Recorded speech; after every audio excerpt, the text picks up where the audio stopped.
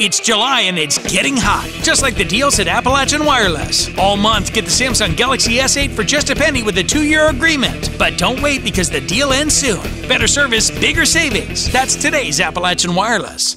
The Kentucky State Police Academy presented diplomas to 42 new troopers at ceremonies held June 22nd in Frankfort.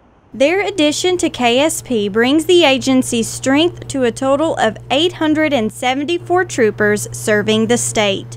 They are a part of the agency's 96th cadet class. They reported for training in January in a class that consisted of 75 cadets. 33 resigned during the program. The training included more than 1,000 hours of classroom and field study. Today is their first day actually reporting to posts, getting the instructions, what county they're going to be assigned to, and so forth. Nine cadets earned associate's degrees in general, occupational, and technical studies from the Bluegrass Community and Technical College during the training. That's definitely an incentive to, to get them here.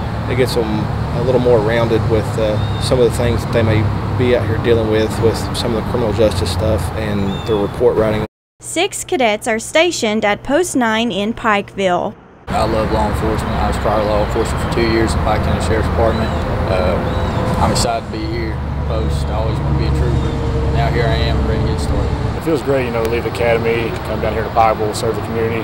Uh, these wonderful people, be part of, uh, you know, wearing that great uniform. Uh, I'm excited to get started, um, and hopefully everything turns out well for us down here in Pikeville.